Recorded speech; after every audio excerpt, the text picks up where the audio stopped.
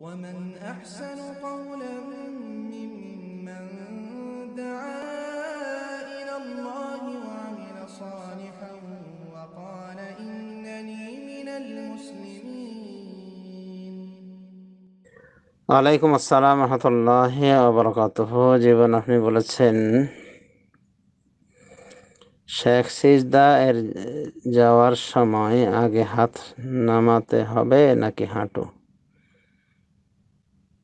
নাকি হাঁটু গেড়ে বসতে হবে? মানে সিজদা যাওয়ার সময় আগে হাত দিবেন হাঁটু দেবে? এই ছিল প্রশ্ন। আলহামদুলিল্লাহ, ওসলাত সালাম রসুলিল্লাহ, নবীন মোহাম্মদ আলহি ওসাহাবি আজমাইন। এগুলো আসলে সন্ন্যতি বিষয়, তবে যেহেতু প্রশ্ন করা হয়েছে কোনটা উত্তম, হাত আগে রাখবে না হাঁটু আগে রাখবে সেটা যাওয়াকালীন।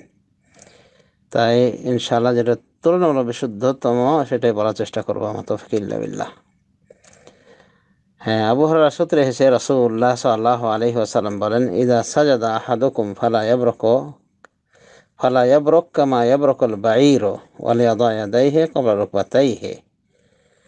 আবহাওয়ার সূত্রে হাদিসে রসুল্লাহ সাল্লাহ আলী হাসাল্লাম বলেন, যখন তোমাদের কেউ সেজদা করবে, তখন যেন উটের মতো করে না বসে ওয়ালিয়াদা ইয়াদাইহে কবলা রকবাতাইহে, এবং সে যেন তার দুই হাত, দুই হাঁটুর আগে রাখে। হাদিসটিকে মুসাদ আহমদের লেখক ইমাম আহমদ বিন হাম্বল বর্ণনা করেছেন, দুই নম্বর খণ্ড তিনশো একাশি পৃষ্ঠা।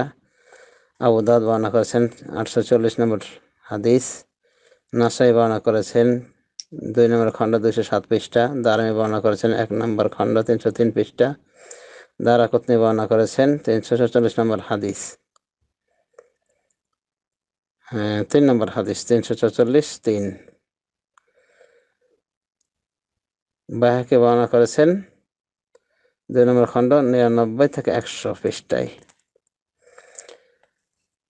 ইমাম নবী এবং হাফিজ হাজার এবং জারকানি আল্লামা জারকানি তারা বলেন সনদ জয়িয়ত হাদিসের সনদ জয়িয়ত মানে উত্তম সনদ আব্দুল হাক আল ইশবিলি এবং আলবানি এবং শোয়েব আন্নাওয়াত এবং আব্দুল কাদের আন্নাওয়াত তারা বলেন হাদিসের সহি আর অনেক আগে আব্দুল আবদুল্লাহ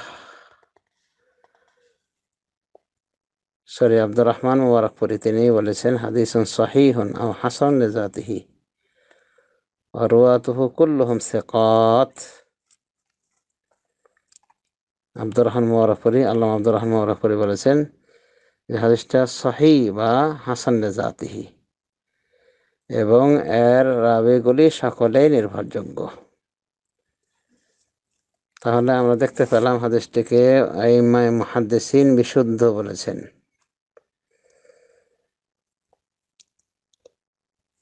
আরেকটি রয়েছে যা এর বিপরীত।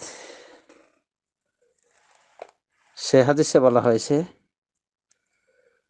ওয়াইল বিন হজর বলছেন, রায়ত রসল্লাহ সাল্লাহ আলহি আসাল্লাম ইদা সাজাদা ওয়াদা রুকবাতাইহে কবলা ইয়াদাইহে ওয়াইদা নাহাদা রফা হে কবলা রুকবাতাইহে। ওয়াইল বিন হজর বলছেন যে, আমি রসুল্লাহ সাল্লাহ আলহি আসাল্লামকে দেখেছি যখন তিনি সেজদা দিয়েছেন। তিনি হাতকে, হাতের আগে তার দুই হাঁটুকে রেখেছেন। আর যখন তিনি উঠেছেন সেটা থেকে ক্যাম উঠেছেন রফায়া দেয় তখন তার দুই হাতকে উঠিয়েছেন। দুই হাঁটুর আগে। এই হাদিসটিকে আবুদাদ বর্ণনা করেছেন আটশো আটত্রিশ নম্বর হাদিস, নাসাই বর্ণনা করেছেন এবং মাজা বর্ণনা করেছেন। আটশো বিরাশি নম্বর হাদিস এবং হেব্বান বর্ণনা করেছেন। চারশো সাতাশি নম্বর হাদিস, দারেমি বর্ণনা করেছেন।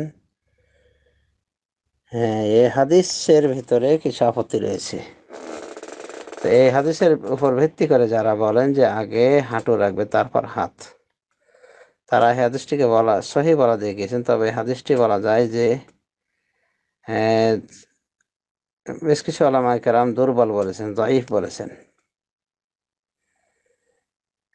তো হাদিসটিকে যারা সহি বলেছেন, তাদের ভিতরে রয়েছেন ইমাম হাকিম এবং ইমাম জাহাবি তার সাপোর্ট করেছেন।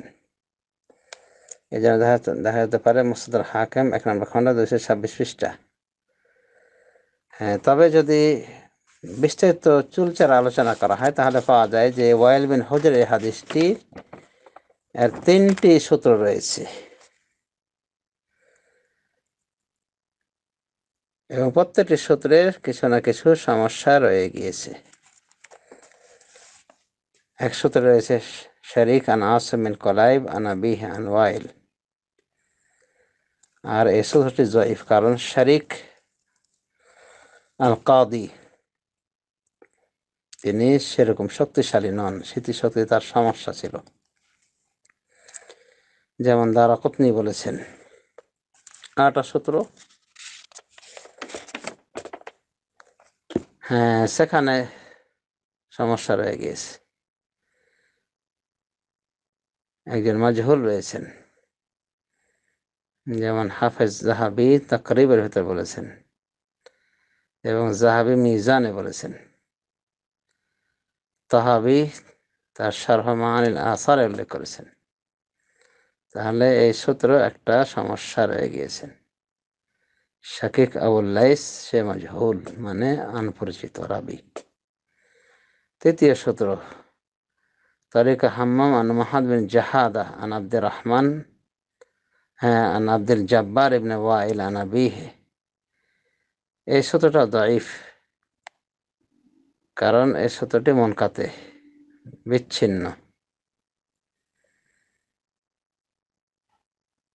তার কারণ আব্দুল জব্বার তার পিতা থেকে না শুনে বর্ণনা করেছেন।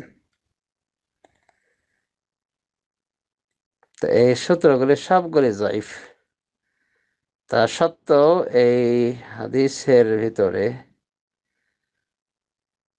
দুটো, দুটোই ইখতলাফ রয়েছে। এটা মোরসাল নাকি মৌসুল মানে আল্লাহ রসুল পর্যন্ত পৌঁছেছে নাকি মোরসাল হয়ে বর্ণনা করা হয়েছে? কোনো তাবি সরাসরি বর্ণনা করছে আল্লাহ রসুল থেকে? দুটো ইখতলাফ রয়েছে। তো যাই হোক, হাঁটু আগে রাখার হাদিসে কিছু আপত্তি রয়েছে। তাছাড়া রাসুল্লাহ সাল্লাহ আলহি আসাল্লাম তিনি যে হাত আগে রাখতেন এ মর্মে বোখারি শরীফের হাদিসে এসেছে রাসুল্লাহ সাল্লাহ আলহি আসাল্লাম ওঠার সময় হাতে নির্ভর করে মানে আগে হাত, হাতের উপর ভর করে উঠতেন।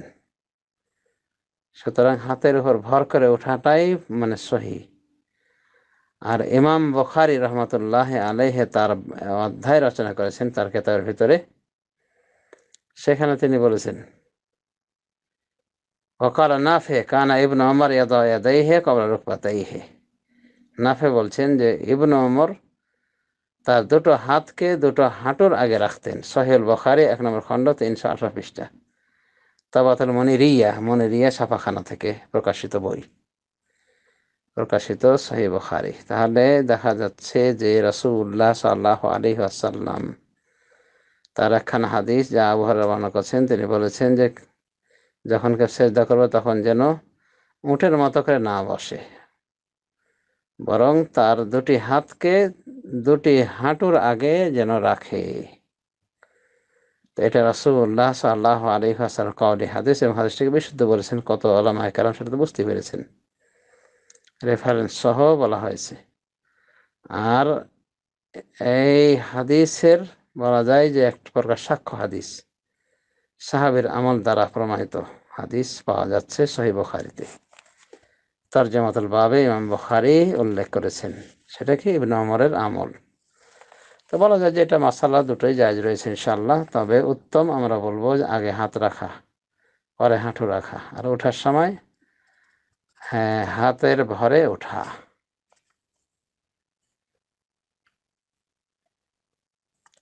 অবশ্য শেখ আলবান রহমতুল্লাহ আলাই তার শেহত সালাতের নবী অর্থাৎ নামাজ শিক্ষা বইয়ে উল্লেখ করেছেন যে সাহাবি ওমর রাদিল হাঁটুর ভরে বসতেন মানে আগে হাঁটু রাখতেন, পরে হাত রাখতেন। সে হিসেবে বলা যায় আমল দুটোই জায়েজ, উত্তম আমরা বলব এতটুকু যে আগে হাত রাখবে, পরে হাঁটু রাখবে এতটুকু উত্তম। আর হাত আগে রাখার হাদিসটা তুলনামূলক বিশুদ্ধ, সেটা তো বুঝতে পারছেন। এই হলো কথা। আল্লাহ তালা আলম আসাল্লাহ নবীনা মোহাম্মদ আলা আলহি ওয়াসাহাবি আজমাইন